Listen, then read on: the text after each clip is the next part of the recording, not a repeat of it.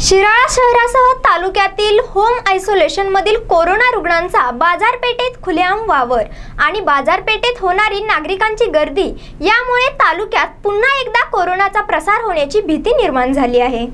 सध्या काही कोरोना रुग्णांवर घरीच उपचार सुरू आहेत. यातील काहींना कोणतेही लक्षण नाहीत तर काहींना किरकोळ लक्षणे दिसून येत आहेत. गतवेळी कोरोना रुग्ण आढळल्यास तो विभाग अथवा परिसरात रस्ते बंद करण्यात येत होते. घरावर फलक लावले जात होते. मात्र सध्या नियम बदलले आहेत. त्यामुळे कोरोना रुग्ण कोण आहे कोठे आहे याची माहिती समजून येत नाही. याचा गैरफायदा काही रुग्ण घेत आहेत. हे रुग्ण उघडपणे गावामध्ये खरेदीसाठी फिरत आहेत.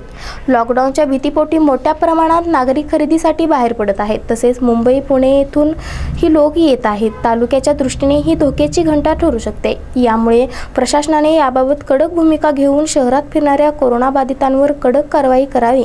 तसेच इतर जिल्ह्यातून येणाऱ्या नागरिकांना सध्या विलगीकरण कक्षात ठेवणे अँटीजेन टेस्ट बंधनकारक कराव्यात अशी मागणी होत आहे.